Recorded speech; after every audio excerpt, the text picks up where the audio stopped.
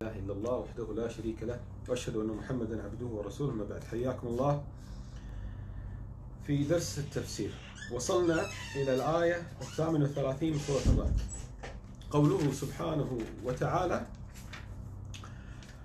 ولقد ارسلنا عفوا آية 37 وكذلك أنزلناه حكما عربيا ولن اتبعت أهواءهم بعد ما جاءك من العلم ما لك من الله من ولي ولا واق.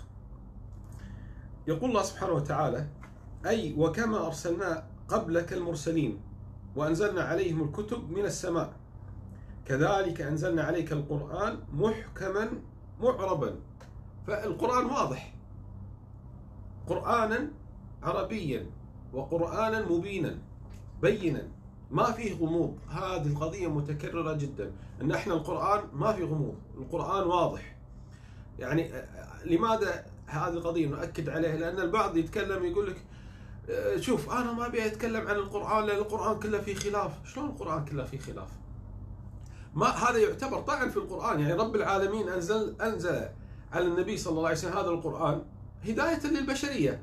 إحنا شلون مثل ما نقول نركن القرآن على جانب بطريقة غير مباشرة.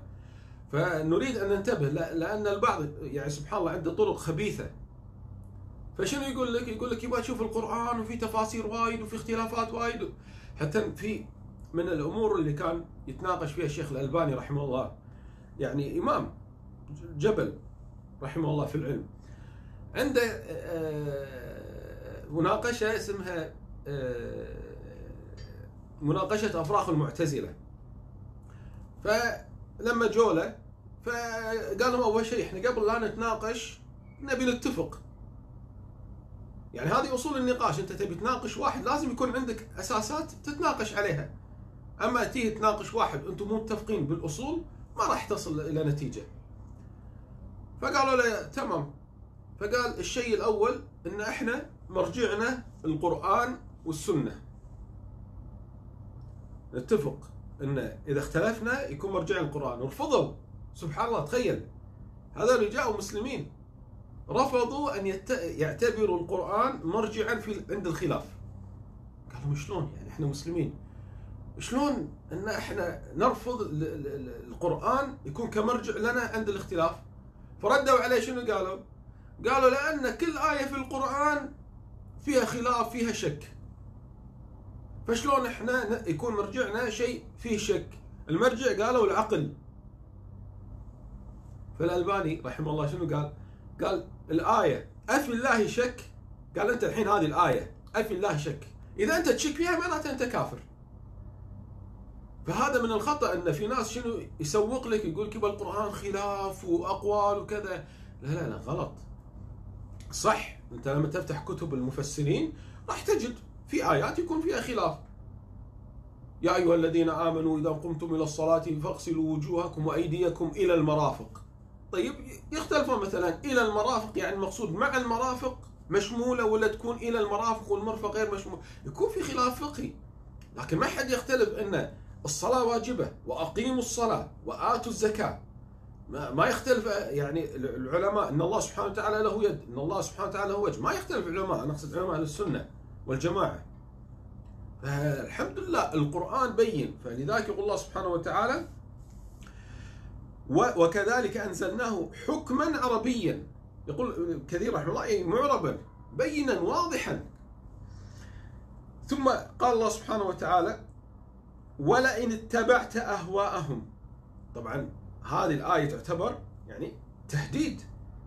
يعني ظاهرا تقول هذا تهديد النبي عليه الصلاة والسلام، لكن طبعا حاشاه النبي عليه الصلاة والسلام أن يتبع أهواء الكفار. ولئن اتبعت أهواءهم أي أراءهم. بعد ما جاءك من العلم. وهذه القضية كذلك خطيرة إن الإنسان يكون عنده علم وما يتبع العلم اللي عنده.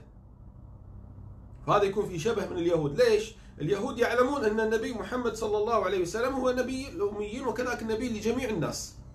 وصفته يجدونها موجودة في مكتوبة في التوراة ومع ذلك ما اتبعوه أو أكثرهم ما اتبعوه فلذلك نالوا غضب الله سبحانه وتعالى ولئن اتبعت أهواءهم بعد بعد ما جاءك من العلم ما لك من الله من ولي ولا واق ما لك من الله من ولي ولا باق. عفوا ولا واق. يعني لا أحد يحميك من عذاب الله سبحانه وتعالى. لا أحد ينصرك من عذاب الله. ولي ناصر يكون ينصرك. يقف معك ضد الله سبحانه وتعالى مستحيل. أو أي أحد يقف أمام الله سبحانه وتعالى فهو خاسر. يعني ضد الله. وقال ولا واق. يقيك من عذاب الله سبحانه وتعالى. طبعا يقول ابن كثير رحمه الله يقول وهذا وعيد لأهل العلم. وهذا وعيد لأهل العلم. أي واحد عنده علم علم بالحق بالقرآن وسنة النبي عليه الصلاة والسلام أقوال الصحابة وبعدين يتركها ويتبع الهوى يندرج تحت هذا التهديد. ثم قال الله سبحانه وتعالى ولقد أرسلنا رسلا من قبلك وجعلنا لهم أزواجا وذرية. يقول النبي يقول ابن كثير رحمه الله وكما أرسلناك يا محمد صلى الله عليه وسلم رسولا بشريا كذلك بعثنا المرسلين قبلك بشرا كما قال الله سبحانه وتعالى عنه في سورة الكهف. قل إن قال عن نفسه عليه الصلاة والسلام قل إنما أنا بشر مثلكم. يعني ما أعلم الغيب. ولا أخلد في الدنيا وأتزوج النساء. حالي حالكم. مثل ما قال النبي عليه الصلاة والسلام لما جاء ثلاثة آه، من الرجال يسألون عن عبادة النبي عليه الصلاة والسلام. وبعدين واحد منهم قال أنا أقوم الليل ولا أنام. والثاني قال أنا أصوم الدهر ولا أفطر. والثالث قال أنا أعتزل لا أتزوج النساء. قال النبي عليه الصلاة والسلام أما إني أخشاكم لله وأتقاكم له. أنتم شو الحكي هذا؟ ما هذا الكلام؟ هل تظنون أنكم ستتقربون إلى الله في تبتلكم هذا؟ أو في تنطعكم؟ قال أما إني أتقاكم لله وأخشاكم له. شوف شلون الحين النبي عليه الصلاة والسلام يعطينا الميزان. شلون الواحد يكون تقيا كاملا أو متجه للأكمل؟ أصوم وأفطر. أصلي وأرقد وأتزوج النساء. فمن رغب عن سنتي فليس مني. هذا هو الطريق الصحيح. إن شلون؟ ولا تنسى نصيبك من الدنيا.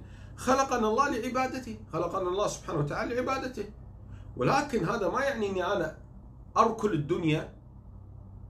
كذلك ما أركن إلى الدنيا. مو معناته أنا أرفض الدنيا وما يهمني أي شيء في الدنيا. وكذلك مو معناته إنه شنو؟ يكون همي الدنيا. لا أكون في حال وسط. إنه يكون همي الدار الآخرة والدنيا هذه تكون معينة لي للوصول إلى الدار الآخرة وجنه آه، الفردوس. فيقول آه، ابن كثير رحمه الله: كذلك بعثنا المرسلين قبلك بشرا يأكلون الطعام ويمشون في الأسواق ويأتون الزوجات، وهذه كانت من الانتقادات على الأنبياء. ما لهذا الرسول يأكل الطعام ويمشي في الأسواق. مثل الحين لما يشوفون واحد آه، مثلا إمام مسجد ولا حافظ القرآن ولا داعية وملتحي وكذا يشوفونه مثلا يلعب طايره ها أنت شلون تلعب طايره؟ زين وين العب طايره؟ أنا ألعب طايره وأفوز وأخسر. ها أو في ناس يلعبون بليارد يفوزون يخسرون. زين أروح الحداق أروح الجاخور مثل بعض الناس ولا يعزمون. زين فيختلف يعني بشر. ففي ناس يظنون وهذا بسبب الإعلام أو من اسبابه الإعلام. إن الواحد لما يكون مثلا مربي لحيته مقصد دشداشته ويحرص على الصلوات الخمس معناته هذا ما يتمتع بالحلال. لا لا لا هذا فهم خاطئ. المسلم يعبد الله سبحانه وتعالى. يربي لحيته ويصلي في المسجد صلاة خمس ويحج ويتصدق ويصوم ويحسن خلقه وكذلك لا بأس بالأشياء المباحة. والله بيلعب مثلا بيلعب طائرة بيلعب مثلا بليار الأشياء مباحة يتسابق يكون مثلا عنده هواية مو محرمة يعني مثل بعض الناس يكون يمكن عنده طيور زين يعلمها شلون تتكلم. تفهميني فهذه الأشياء ما تدل على ان ان إن الشخص هذا فيه نقص وإنه هو مفرط في الدين. لا هذا من طبيعة الناس. كما النبي عليه الصلاة والسلام لما رأى الصبي معه الطير ففي يوم من الأيام جاء هذا الصبي ما عنده طير فقال يا أبا عمير ما فعل النغير عنده طير صغير ويلعب فيه.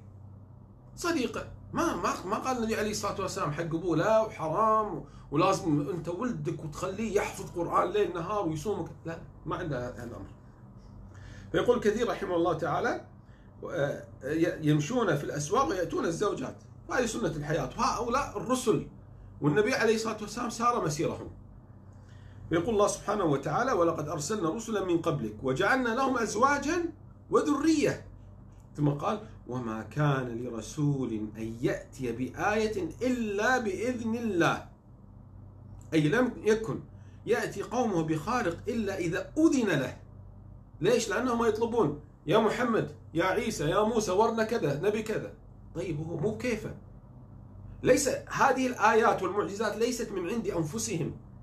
هي تأتي بإذن الله سبحانه وتعالى. إن شاء أعطى وإن شاء لم يعطى. هذه الآيات. وما كان لرسول أن يأتي بآية إلا بإذن الله. ثم قال لكل أجل كتاب. أي لكل مدة مضروبة كتاب مكتوب بها. وكل شيء عنده بمقدار. إن النبي صلى الله عليه وسلم يبعث في عام أو يولد في عام الفيل ويبعث بعد أربعين سنة ثم يموت بعد 23 سنة. كل شيء مكتوب وكل شيء يأتي بمقدار وكل شيء يسير على هذا المقدار الذي قدره الله سبحانه وتعالى. ثم قال الله سبحانه وتعالى الآية 39 يمحو الله ما يشاء ويثبت وعنده أم الكتاب. ابن كثير رحمه الله ذكر كذا قول بالنسبة لهذه الآية يمحو الله ما يشاء ويثبت قال إلا الحياة والموت. في أشياء يمحوها ويثبتها إلا الحياة والموت هاي ثابت. أن هذا الإنسان يحيى في هذا الوقت يموت في هذا الوقت هذا ثابت ما يتغير. والشقاء والسعادة أن هذا من أهل الجنة وهذا من أهل النار. طيب فإنهما لا يتغيران. وهناك غيره من الأقوال. من الأقوال اللي ذكرها وكذلك آه، ذكرها الشيخ السعدي رحمه الله تعالى أن يمحو الله ما يشاء اللي موجود في أيدي الملائكة. ما تعلمه الملائكة. ويثبت أي عفوا ويمحو الله ما يشاء ويثبت. يعني هذا فيما أيدي الملائكة متعرض للتغيير. وعنده أم الكتاب هذا لا يتغير. هذا ما يتغير اللوح المحفوظ أبدا ما يتغير. طيب وكذلك علم الله سبحانه وتعالى. ما ما إحنا كمسلمين نعتقد إن الله سبحانه وتعالى يعلم كل شيء. ما أو ما عندنا إن الله سبحانه وتعالى كان في شيء يعلم يجهله وبعدين علمه وتغير وتردد لا. في شيء اللي يسمونه آه، عقيدة البداء. عقيدة شنو عقيدة البداء؟ إن في شيء الله سبحانه وتعالى استغفر الله العظيم. إن في شيء مثل هم يقولون إن الله ما يعلم هذا الشيء وبعدين لما صار علمه. هذه عقيدة اليهود وطوائف محسوبين على المسلمين. طيب لا إحنا عندنا إن الله سبحانه وتعالى يعلم كل شيء. الله سبحانه وتعالى في علمه. السابق إن في سنة 2020 أو آخر سنة 2019 راح يصير في كورونا وراح يبدي بالصين ويزيد بهالدوله وينقص بهالدوله وكذا وفلان راح يموت وفلان راح يتجاوز وفلان بيصير بالانعاء كل شيء مكتوب. فالمهم يمحو الله ما يشاء ويثبت هذا اللي عند الملائكة. الملائكه تسجل ما يلفظ من قول إلا لديه رقيب عتيد صاحب اليمين وصاحب الشمال تسجل لكن هل كل شيء تسجله الملائكة ثابت ولا يتغير؟ لا هو عرضة للتغيير وعنده ام الكتاب يعني اللوح المحفوظ ما يتغير شلون؟ أو شنو المثال يوضح هذا الأمر؟ على سبيل المثال قضية آه، آه، صلة الأرحام النبي عليه الصلاة والسلام قال من أراد أن يبسط له في ذكره وينسأ له من أراد أن يبسط له في رزقه وينسأ له في ذكره فليصل رحمه. طيب؟ فصلة الرحم تزيد العمر. واحد طيب شلون يقول؟ شلون تزيد العمر إذا كل واحد مكتوب أجله؟ آه. فيعني من التفسيرات جميلة وحتى اللي يحب يرجع حق آه، كتاب عمر الأشقر رحمه الله في القضاء والقدر وغيره.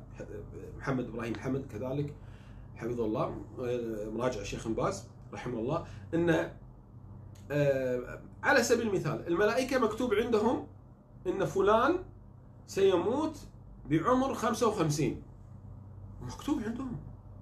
النبي عليه الصلاة والسلام قال اذا إذا يعني آه، إن أحدكم يجمع خلقه في بطن أمه 40 آه، يوما نطفة علقة مضغة ثم يبعث الملك. على حسب في رواية على انه 120 في رواية على انه 42 يوم.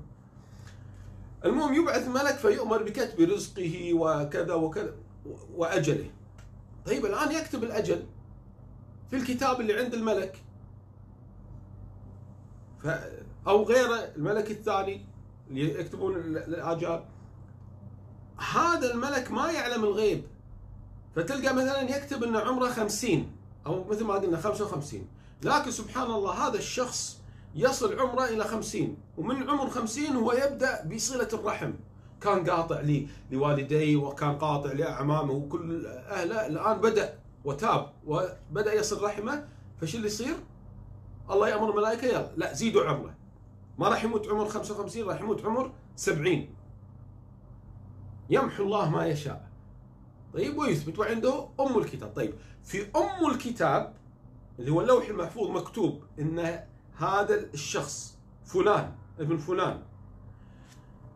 سيكتب عمره مثلا 55 ثم سيصل رحمه على عمر 50 فيزاد في أجله 15 عاما فيموت على عمر 70 فكل شيء موجود في أم الكتاب ولا يتغير. هذا احد الأقوال في قوله سبحانه وتعالى يمحو الله ما يشاء ويثبت وعنده أم الكتاب. ثم قال الله سبحانه وتعالى وإما نرينك بعض الذي نعدهم أو نتوفينك. فإنما عليك البلاغ وعلينا الحساب. يعني رب العالمين كتب على مثلا قريش انه راح يموتون أو يقتلون أو كذا وعلى الروم وعلى فارس. فيقول الله سبحانه وتعالى لنبي محمد صلى الله عليه وسلم يهديه وإما نرينك بعض الذي نعدهم. في وعود يقول آه، ابن كثير رحمه الله تعالى وإما نرينك يا محمد بعض الذي نعد أعداءك من الخزي والنكال في الدنيا يعني الخساره في الدنيا والهزيمة. أو نتوفينك أي قبل ذلك. يعني قد تموت قبل أن ترى هزيمة الكفار. يعني النبي عليه الصلاة والسلام مات قبل أن يرى فتح بيت المقدس. فتح بيت المقدس في زمن عمر. طيب يعني هذه في فائدة مهمة جدا يا إخواني. إن المسلم يجب عليه أن يؤدي دوره. أما النتيجة هذه أنت لا تهتم لها. صح الواحد إذا شاف نتيجة طيبة يفرح لكن لا يعني تهمك وايد النتيجة. أهم شيء إن أنا أسوي اللي علي. اللي علي مثلا إن أنا أبني مركز إسلامي. أنا ممكن يكون في خطتي إني أنا أبي أبني مركز إسلامي ويكون في مدرسة ويكون في جامعة ويكون في كذا في الدولة الفلانية وإن إحنا نخرج طلاب. طيب أنت قد تموت قبل أن يكتمل البناء. أنت قد تموت في أول سنة من من الإنشاء. زين؟ يمكن ما ترى الثمرة. طيب هل أنت آثم؟ لا. هل تتحسر لا تحس... ما تتحسر. فالمهم إن أنت سويت اللي عليك بديت البذره وسويت اللي عليك وسعيت في جمع التبرعات وبنيت هذا واخترت الدعاة واخترت الإداريين. وبعدين هم يكملون إن شاء الله. ولو ما كملوا أنت ما عليك شيء. ليش؟ لأنك أديت دورك. فيا محمد قد ترى أمامك هزيمة الأعداء وراء بعضها. عليه الصلاة والسلام هزيمة الكفار في بدر. وقد ألقي هؤلاء الكفار نتنا سبعون قتل منهم سبعون صناديد قريش رؤساء الملأ من قريش. وإما نرينك يقول الله سبحانه وتعالى وإما نرينك بعض الذي نعدهم أو نتوفينك ثم قال فإنما عليك البلاغ وعلينا الحساب. أنت وظيفتك أنك تبلغهم. مو وظيفتك أنت تشوف النتيجة وتحاسبهم. أنت ليش أسلمت؟ أنت ليش أسلم؟ ما أسلم. لا. الحساب على الله سبحانه وتعالى أي حسابهم وكذلك جزاؤهم. ثم قال الله سبحانه وتعالى أولم يروا أنا نأتي الأرض ننقصها من أطرافها؟ تكلم علماء يعني ما المقصود ننقصها من أطرافها؟ قال ابن كثير رحمه الله ينقل عن ابن عباس رضي الله عنه أولم يروا أنا نفتح لمحمد الأرض بعد الأرض. يعني ذكر تفسير الآية المقصود ننقصها من أطرافها يعني بالفتوحات الإسلامية. أول شيء كان الإسلام في المدينة. وبعدين صار حروب. لما السنة الثامنة فتحت مكة. وبعدين في زمن أبي بكر زمن عمر فتحت الدولة الفلانية إلى أن وصل إلى الشرق الصين والسند والهند. فانتشر وصل إلى الغرب أوروبا الأندلس وأسبانيا. قال أولم يروا أن نأتي الأرض ننقصها من أطرافها؟ قال الحسن والضحاك رحمهم الله هو ظهور المسلمين على المشركين هو ظهور المسلمين على المشركين. وكذلك من الأقوال قال مجاهد رحمه الله نقصان الأنفس والثمرات وخراب الأرض. نقصان الأرض يعني نقصان الأنفس والثمرات. وكذلك من الأقوال أي خراب الأرض بموت الفقهاء والعلماء.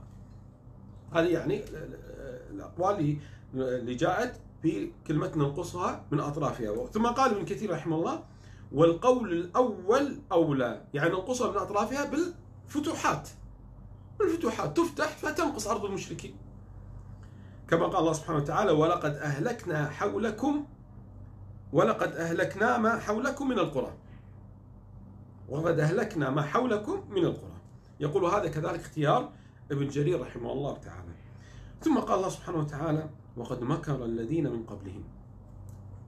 يعني قبل قريش مكر الكفار برسلهم.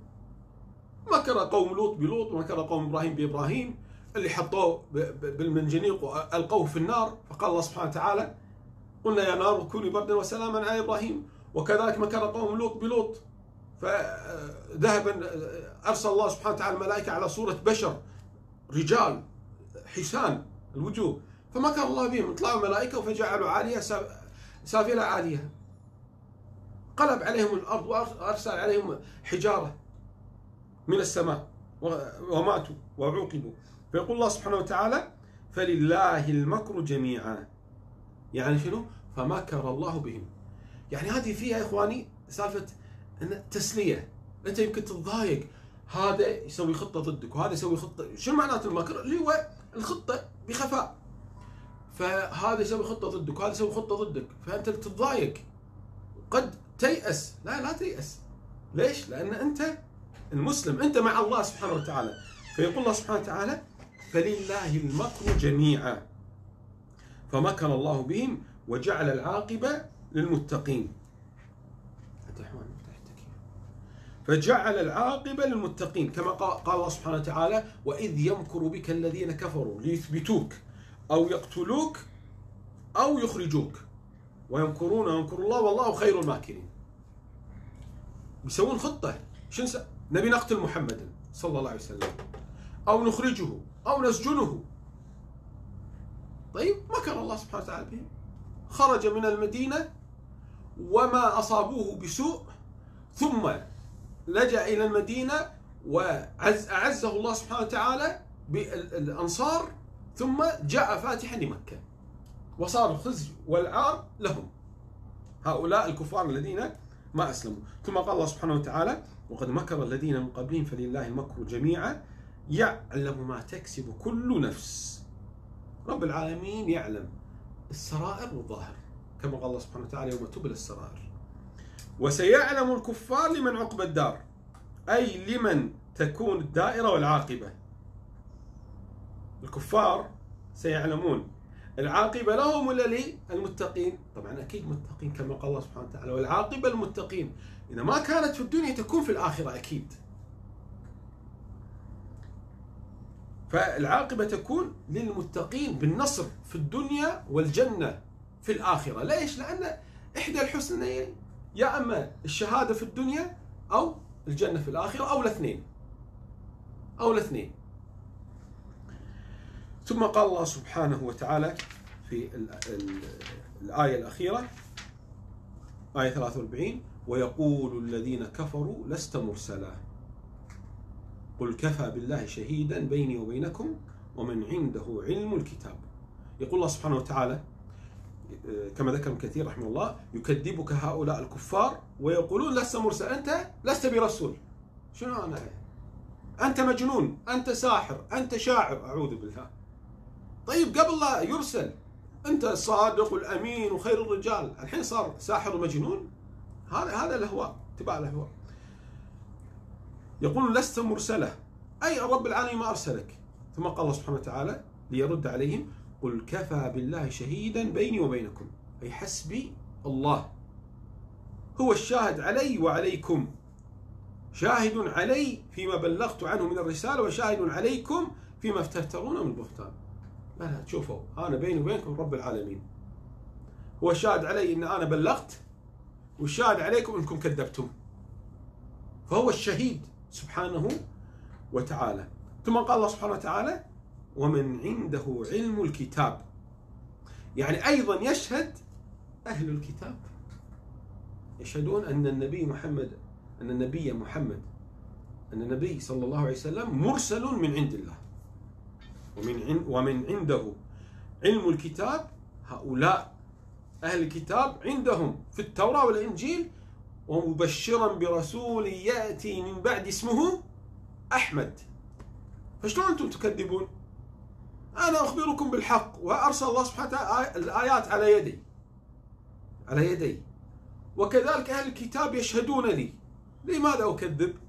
فيقول ابن كثير رحمه الله تعالى ومن عنده اسم جنس يشمل علماء أهل الكتاب الذين يجدون صفة محمد صلى الله عليه وسلم ونعته في كتبه المتقدمة من بشارات الأنبياء به.